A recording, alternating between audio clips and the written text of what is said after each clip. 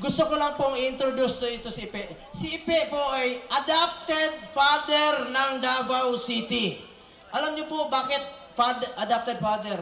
Kasi po, nag-iwan siya ng apat na anak sa Davao. Hindi ho, totoo yan. O, naniwala naman kayo. Naloko. Nababayan ko kayo, huwag kayo maniwala. Naloko mo nga si Chris Aquino! Birthday niya ngayon! Birthday niya ngayon.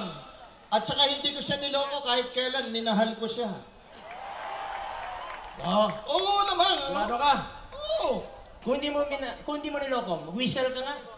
Pambihira ka naman, whistle lang, pahihirapan mo pa sarili ko. Sige nga.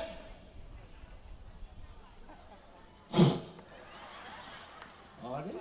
Kantahan mo na lang sila. Sinungaling kaya tayo. Gusto niyo ba kumanta ko?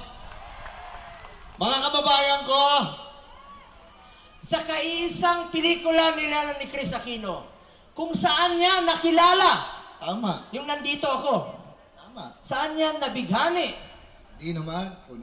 At saan niya naloko si Chris Aquino. Hindi ko niloko si Chris. Kung hindi mo niloko, kantahan mo.